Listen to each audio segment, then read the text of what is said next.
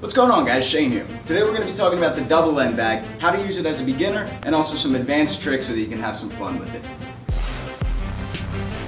Alright, so let's talk about the very basics. Installing the double end bag and how tight should the ropes be. This is actually very loose, you can see how much it moves around. The tighter that the ropes are, the less movement, the easier it is for you to punch it because if you punch to the center, you're most likely going to hit the bag. Another thing that you can do is hold weights in your hands because if you go slower, you're actually more likely to hit it okay? Also, I have these weights on either side. They're just two pound weights.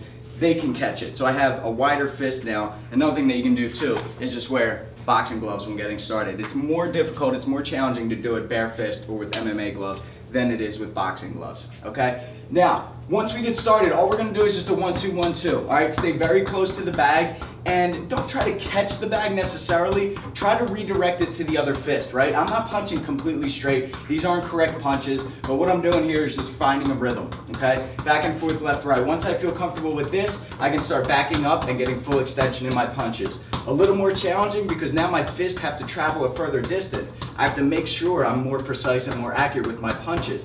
Also, it depends on where I hit the bag. If I hit the center of the bag, I have more control of it. If I slip off to the side, it's gonna go in a direction that I don't want it to, okay? Now, once we start adding hooks to the mix, now this is where it gets more challenging. What I teach beginners and what I did when I first started was after I throw my lead hook, it's gonna go left and right now, right? So if it's moving left and right, it's hard for me to time it to where I can hit it with a straight punch. So let's hit it with another hook, or what I like to do is a back fist. So we're hitting one twos, one twos, one twos, and then I hit it with the hook, come right back with my back fist that can steady it, and then I can go back in my one two. So it's like this, one two, one two, one two, hook, tap, one two, one two, one two, one two, back to the straights again, okay? If I do a strong right hand, what I like to do, again, it's probably gonna be a little wild, is go helmet guard. So now we work our defense a little bit. So it's one, two, one, two, one, two, strong two, helmet guard. It steadies it a little bit. Now I'm going back to my one twos, hook, back fist, one, two, strong cross, right back, pop, pop. Okay, and continue from there.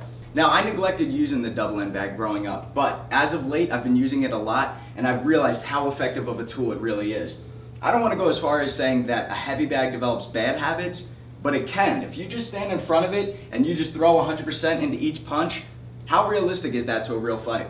That's not going to happen. Uh, your, your opponent's not going to let you just stand in front of them and throw 100 punches in a row, right? You need to work your head movement, which you can with this. You need to work your defense, which you can with this okay? And you have to work your accuracy. If I throw a big punch on this, right, it's all over the place. Now I try to catch with another big punch, it's not likely I'm gonna hit it, right? It really helps focus on your precision and on your accuracy, right? Think about it, the biggest punch in the world doesn't matter if you don't land it.